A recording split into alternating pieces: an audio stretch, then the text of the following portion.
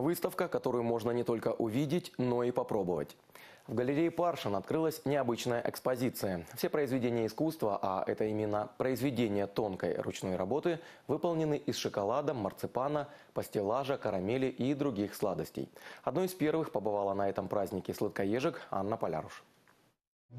Даже если вы давно сидите на жесткой диете, уже пять лет не ели сладкого, эта выставка принесет вам точно эстетическое удовольствие. Здесь не только каждое кондитерское изделие, это произведение искусства, но и общая атмосфера праздника равнодушным не оставит никого.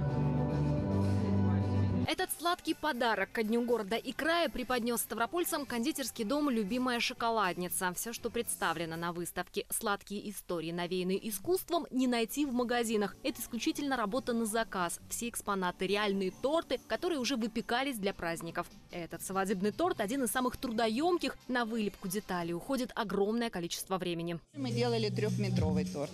Просто он сюда не поместился. Тут 2,70, потолок пришлось делать поменьше делали трехметровые торты. Но дело, наверное, не в величине, не в высоте, а все-таки а, в эксклюзивности работы. Сама работа должна быть интересная, тонкая, не, не просто большой торт. Например, этот торт называется «Маскарад». Поражает не только размерами, но и формой. Шары обтянуты марципаном и украшены шоколадными цветами, а маски, вырезанные из пастилажа, раскрашены и декорированы вручную. А это торт Юли. К слову, может быть приготовлен любого размера, хоть до потолка. Сложным в исполнении его признают даже сами кондитеры любимой шоколадницы. Секрет внутри. Как заставить нежные бисквиты, пропитанные кремом, держать форму. Специалисты не рассказывают даже на выставке. Бисквит с кремом, все. Это внутренности любых тортов, это то, что заказывает заказчик. Приходят, выбирают у нас.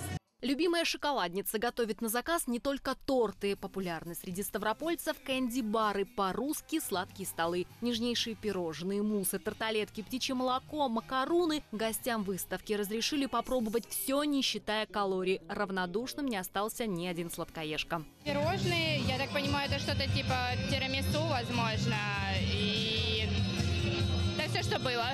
Выставка продолжает работать в галерее Паршин до 27 сентября. Вход бесплатный. Анна Поляруш, Антон Поляков, Ставропольское телевидение.